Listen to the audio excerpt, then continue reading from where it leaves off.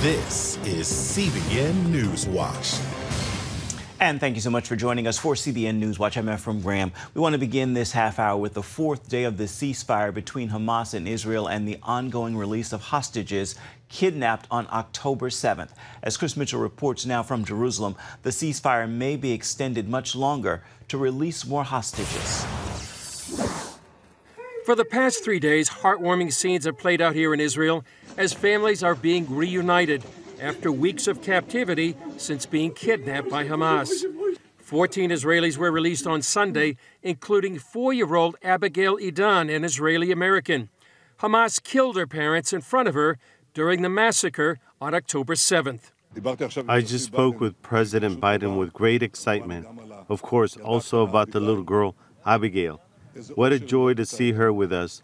But on the other hand, what a pity that she returns to the reality of not having parents. She has no parents, but she has a whole nation that embraces her, and we will take care of all her needs. President Joe Biden took a direct interest in Abigail. Though intensive U.S. diplomacy, she's now safely in Israel, and we continue to press and expect for additional Americans will be released as well and we will not stop working until every hostage is returned to their loved ones. So far, 40 Israelis have been freed, with more expected today for at least a total of 50. In Jerusalem and the West Bank, Palestinians celebrated the return of dozens of prisoners released in exchange for the hostages. Many of them committed attempted murder, stabbings, shootings, or threw Molotov cocktails. This Palestinian woman called for more kidnappings so more prisoners could be freed. It's likely more Palestinian prisoners and Israeli hostages will be released today. Israel's war cabinet is deciding whether or not to extend the ceasefire for up to 10 more days, with 10 hostages released for each day. That could prolong Israel's military campaign as much as two weeks. I think every day that goes on with the ceasefire, it's going to be harder for them to restart the war machine. And that is exactly what Hamas intends. They understand that the longer this ceasefire goes on, the more pressure will build on Israel to continue that ceasefire indefinitely. And if they continue it indefinitely, then Hamas does not get wiped out and Hamas survives. That's, the, that's their, their strategy here, I believe. Despite the delay, Prime Minister Benjamin Netanyahu visited IDF troops in Gaza and pledged total victory. We're here in the Gaza Strip with our heroic fighters. We're making every effort to return our hostages, and at the end of the day, we will return everyone. We have three goals in this war eliminate Hamas, return all our hostages, and ensure that Gaza does not return to be a threat to the state of Israel again. Want to continue our coverage now with Middle East Bureau Chief Chris Mitchell. So, Chris, uh, as more hostages are being released, what kind of support are they getting after returning, especially like a four year old child, Abigail, whose parents were killed during that October 7th massacre? Well, Efrem, first of all, they're getting medical help and examination. That's probably the first thing they're doing to see how they're doing. They're also getting counseling, uh, and that may last a while. Just think of the trauma, as you mentioned, a four year old girl, Abigail, she was taken from her home. Her parents were murdered. And then on the other hand, take uh, an 84 year old uh, Israeli, Alma Avraham. She went immediately to the hospital for a life threatening condition as soon as she was released. So everyone here in uh, of these hostages has a traumatic story, some more dramatic than others, but each one is just traumatized by taking uh, captive there on October 7th. So it's going to be a long-term process to get back to normal life if there'll ever be a normal life for any of these hostages. Now, this is day four of the ceasefire, both sides considering extending. What does that process look like? Well, the process looks like that right now. For every 10 hostages, the ceasefire, which has gone four days now, will be extended by a day. And then for every hostage, three Palestinian prisoners would be released. Uh, President Biden has already said that he wants to extend the ceasefire. So it's likely it's going to continue. Uh, but for many here uh, from in Israel, they're very leery about this deal. It really puts Hamas in control of the war, which is, as Chuck Holton said in our report, it's exactly where they want to be. But it looks right now that it could be extended by another 10 days. That would be another 100 hostages. Uh, still, that would remain maybe, uh, let's see, about 100 hostages remaining. So this could go on a long time, and that's exactly what Hamas would like to do. Now, of course, the world watching this from a distance, but how are some of the citizens in Israel feeling about the ceasefire?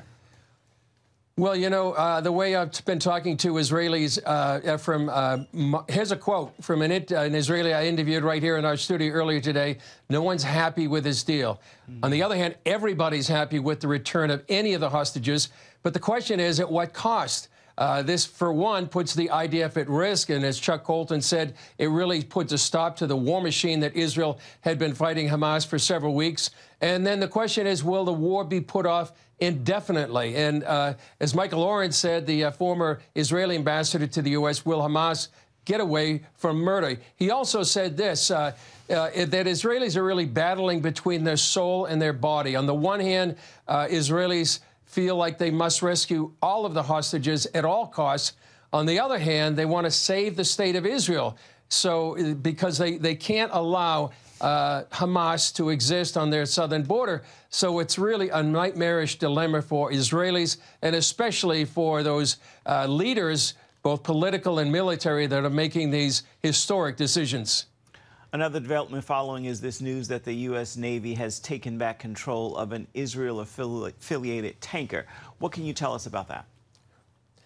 Well, the U.S. Navy put, uh, uh, put reclaimed a, uh, uh it's called the USS uh, Mason, managed to catch up with a um, uh, hostage that was taken, taken by by the Yemenis, by the Houthis, and then it was the latest attempt by the Houthis to disrupt shipping in the Red Sea off the coast of Yemen. And so the Houthis actually launched two ballistic missiles at the USS Mason. That was the Navy ship that went back and got that particular tanker. But both those missiles fell into the sea. And what this is, probably, uh, Efrem, is an attempt by the Houthis to really disrupt uh, the sea lanes there in the Red Sea and off the coast of Yemen. In effect, some people say almost have it like a, you know, a uh, naval blockade on Israel. Mm. Got less than a minute to go, but before we let you go, are there any plans for another prayer gathering in Israel this week? Yeah, this week, uh, Efrem, on Wednesday, there's going to be a prayer meeting at Israel's parliament, the Knesset. Christians or Jews going to be gathering to pray for Israel, protection for the soldiers, wisdom for the government. And also on that day, there's a global African prayer movement uh, on Wednesday. And Wednesday is the anniversary of the November 29th UN vote for a Jewish state. And so many people are feeling, Efrem, this is really an existential situation for Israel, surrounded by enemies, exponential rise of anti Semitism. So where can they look for? They need to look up. Many people are looking into Psalm 121 that says, I will lift up my eyes to the mountains. From where shall my help come from? My help comes from the Lord who made heaven and earth. Much needed prayer, Chris Mitchell, our bureau chief. Uh, thank you so much. Much appreciated. Back here in the United States, Democrats continue to battle inside their party over the correct U.S. policy on Israel, with liberals wanting to set conditions on any new military aid. Dale Hurd is on this story. Leading Democrats in the party's progressive wing are warning they'll oppose a $14 billion White House aid package to Israel if it does not put constraints on how the Israeli Defense Forces fight Hamas. The divide among Democrats is said to be driven not only by Arab American and Muslim voters, but by the generational split that has younger Democrats more opposed to helping Israel. In the New York Times, Senator Bernie Sanders wrote, The United States must make clear that while we are friends of Israel, there are conditions to that friendship, and that we cannot be complicit in actions that violate international law and our own sense of decency. Sanders wants an end to what he calls indiscriminate bombing, a significant pause in the fighting to allow more humanitarian assistance for the Palestinians, even allowing them to return to their homes, no long term Israeli occupation of Gaza, an end to settler violence in the West Bank, and a freeze on settlement expansion. Sanders has been calling for restraint by the Israeli military ever since the Hamas attack. But while we do our best to support Israel and destroy Hamas, please Let us not turn our back on the suffering people in Gaza. The question will be what exactly are the conditions for aid that are laid down by progressives, and how many members of Congress will support them. While President Biden suggested putting conditions on aid to Israel might be a good idea, it took diplomacy to achieve the release of the hostages. Well, I think that's a, a, a, a worthwhile thought, but I don't think if I started off with that, we'd ever gotten to where we are today. Very House Intelligence we Committee really Chairman Republican so Congressman Mike Turner on NBC's Meet the Press was not sounding as if he would oppose putting some conditions on U.S. aid to Israel. I wouldn't propose it, but I think it does accurately reflect U.S. policy. But while some in Congress may support restrictions on aid, the far left wing of the Democratic Party may push for more than most members will accept. The demands by progressives have not only sparked an intra party conflict with pro Israel Democrats, they threaten an aid package that now only has a short window for passage before year's end. Dale Hurd, CBN News. An American who's been supporting Jews in the West Bank while living there for 20 years. He's going to reveal the truth about Jewish communities in Judea and Samaria and share how support for Hamas is putting them in even greater danger. Stay with us. You're watching CBN Newswatch.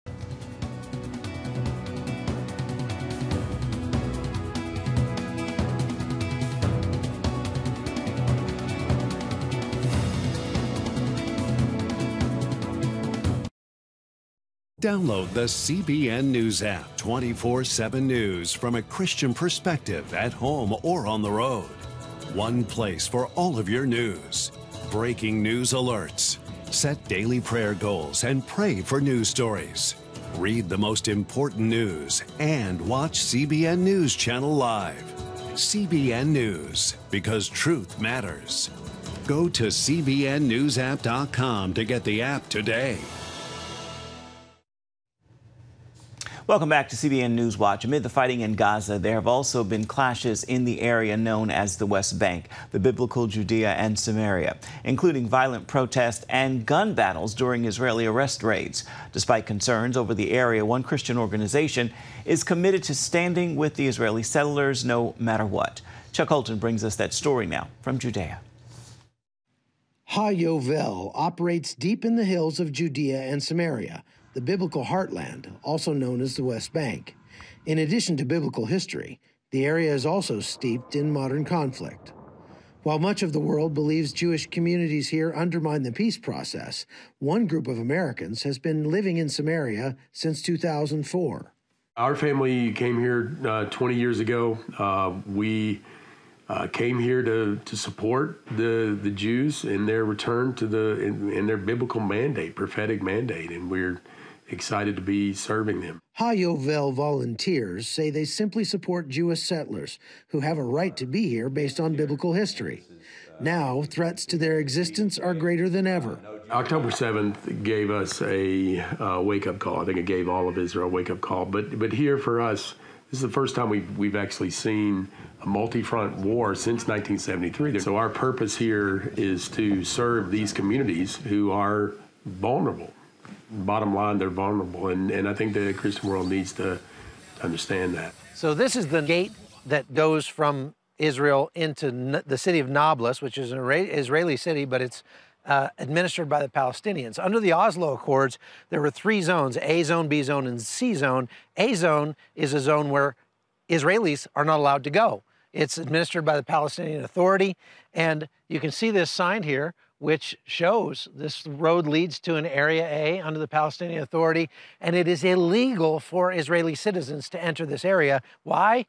Because it is dangerous to your lives. Now, Arabs can pass through this gate and come through to Israeli controlled areas without any problems. And in fact, tens of thousands of them do that every day to go to work. But right now, they're not able to go to work because of what happened on October 7th. The whole idea of apartheid state is a bunch of bunk.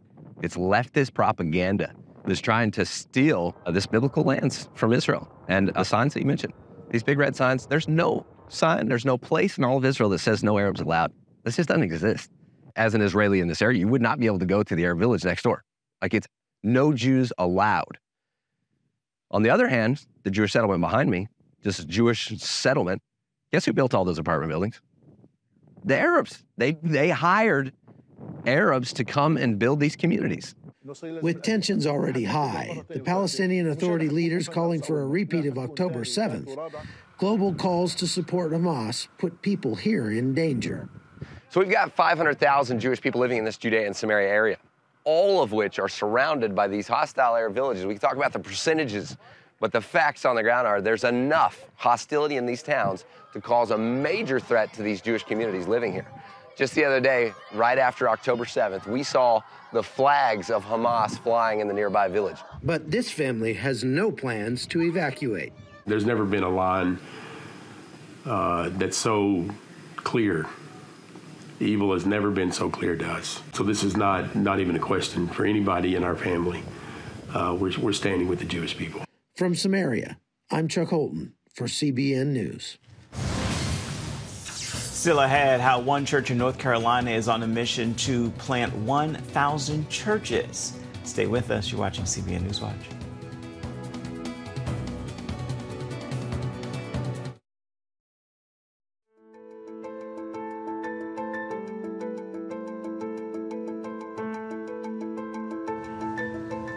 Welcome back to CBN News Watch. U.S. churches are closing at an alarming rate. About 4,500 Protestant churches closed in 2019. That is the most recent year on record. And experts believe the closures were accelerated by the pandemic. One church family has made it its mission to offset this trend with a goal of planting 1,000 churches in our generation. CBN's Brody Carter reports from the Carolinas. Demographic study that I've seen of recent shows that the, the group that is growing, maybe the fastest, you know, one of the fastest at least, is this NONE group, the nones. And um, they, they're no longer, they're very skeptical of institutionalized religion. One of the things we can get wrong is to think that they're not interested in spirituality. J.D. Greear should know, as he served as the Southern Baptist Convention president from 2018 to 2021. At its peak, the denomination grew to more than 16 million members in some 48,000 churches nationwide. Since then, a slow yet steady decline has stripped away more than 3 million of its members. Honestly, probably we're not practicing believers anyway but they, them and then their descendants are dropping out. Some may connect this decline to internal divisions over LGBTQ rights, a sex abuse scandal, and the question over females serving as pastors. A lot of the decline in, in those numbers is just it's cultural Christianity. But if you actually look at the statistics on the amount of, of what I would consider true disciples, those numbers are actually encouraging. Today, Greear focuses on his own ministry in Durham, North Carolina, as pastor at the Summit Church which has seen massive growth despite uncertainty in the SBC. Because of the empty tomb, our road doesn't end at the grave. If anything, it begins there for those who are in Christ. What we're after here is not demographic increase. What we're after is real followers of Jesus. To date, the Summit Church has strategically planted 75 North American churches in metropolitan cities and college towns, with more than 500 planted worldwide. Their mission is to supply these communities with a church that can proclaim and live out the gospel. Unfortunately, a lot of them are not reached um, in the church by just doing you know, great music, great guest services, and relevant sermons. A lot of them have to be reached outside the church, which means that we have to equip our members to carry the gospel outside the walls of the church. That's always been important, but it's more important than ever. Charleston Baptist Association is 270 years old and growing. Harbor Church is one of the newest additions thanks to J.D. Greear Ministries. My desire was to be used by God in my generation to be able to share the hope of the gospel in an area of need, and I found that in Charleston. Summit sent church planter Jonathan Lenker to start Harbor City Church in Charleston, South Carolina. We came here with 35 people as a part of a launch team. We grew to about 60 and then went public on, in September 18th of 2022.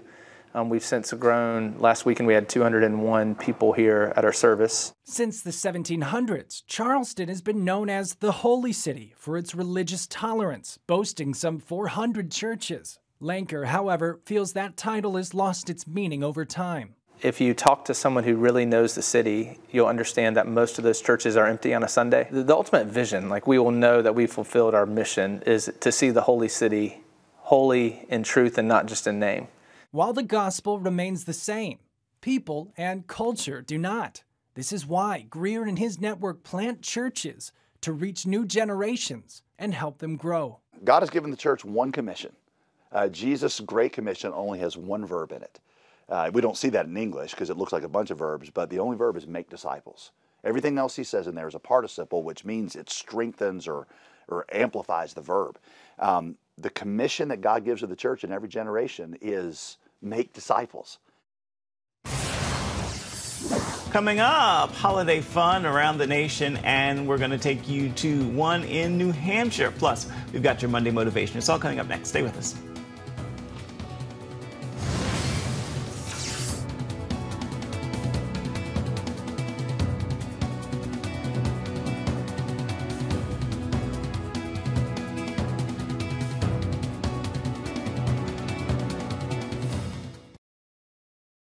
Introducing a brand new way to start your morning.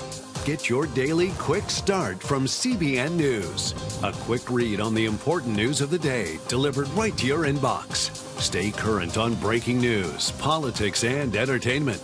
Discover how God is moving around the world and here at home.